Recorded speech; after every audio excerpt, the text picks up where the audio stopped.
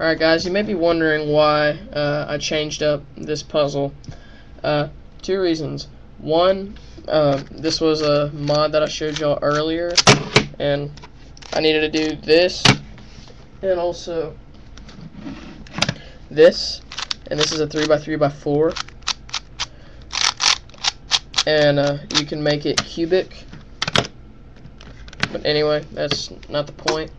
I just switched these pieces for that reason, and also it'll be a little easier to see the pieces and like what we're dealing with because we're only dealing with the top and bottom layers.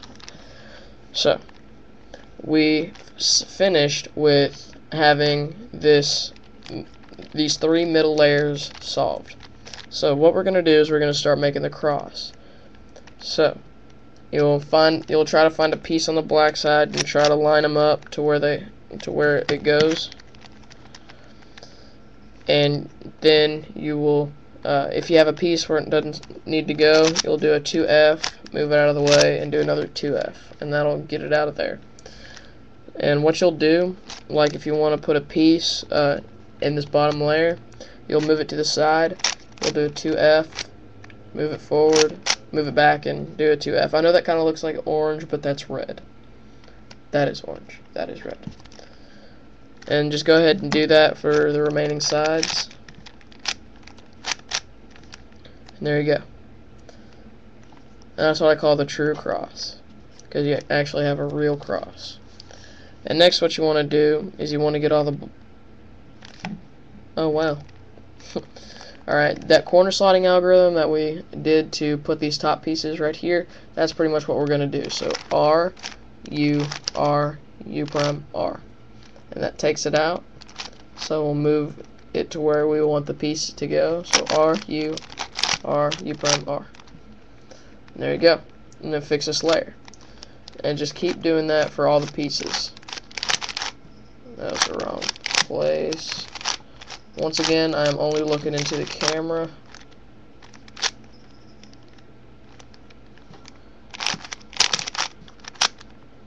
And if you have parity, that is perfectly fine. But if you want to try to avoid it, oh crap, what I do? Um, like for instance, right here, you got one more corner, and what you can do to avoid it is put in a random corner, and then bring that corner back, and then place it that end, just like that. And you have this bottom layer solved. And now, do what you normally do which is getting the corners on the top layer. So none of them. So R U R U prime R prime U prime D R U prime R R U R. And then rotate it twice. Put these over here. Then R U R U prime R D R uh, U prime R U prime R U R. And there you go. So here's a case where I don't have parity. I will be going over parity in the next video. And uh, these are the top and bottom layers.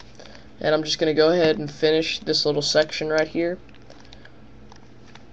And uh, what you do is you do that edge swapping algorithm that we did in the other video. In the other video. And just so you know, it switches these two, and it messes up this layer. So the algorithm is R U R 2 U my bad, R U, R to U, R to U, R U, R U prime, R. And it messed that up, but it switched these two. So bring the last two in.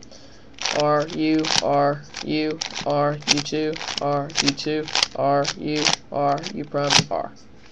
And there you go. The next video will be all about parity because you can have parity when these this layer is switched and you have this layer soft and this layer solved. We'll be going over that in the next video.